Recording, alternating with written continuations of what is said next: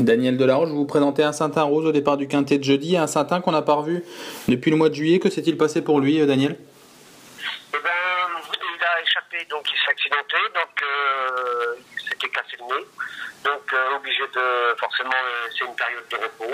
Là, il a retravaillé un peu normalement, quoi. Donc il va avoir besoin sûrement de cette bonne course-là. Est-ce que vous l'avez emmené sur des hippodromes pour améliorer sa condition ou vous êtes resté à la maison? Une piste de 1200 mètres, euh, on a de quoi faire à la maison pour travailler. Euh, bon, à la maison, il semble bien, mais bon, forcément, il va sûrement manquer un peu de, de rythme, quoi. Il n'avait pas d'autres courses pour rentrer directement? Il n'y a rien, il n'y a rien, il n'y a rien. Qu'est-ce qu'en font les parieurs? Ils l'éliminent totalement pour sa rentrée ou pas tout à fait Je pense, oui, oui, il faut le regarder, là. Puis c'est moi qui drive. euh, Bon, c'est une course de rentrée, euh, il n'y a pas de. Voilà, quoi, on va faire le tour, quoi. On va voir comment il est au niveau de sa condition, quoi.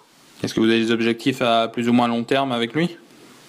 Ben, derrière ça, il va avoir une course montée, puis il va avoir une course attelée, euh, mais bon, il n'a pas forcément un bon programme cet hiver, hein, ils n'ont pas grand chose à courir, ces chevaux-là. hein.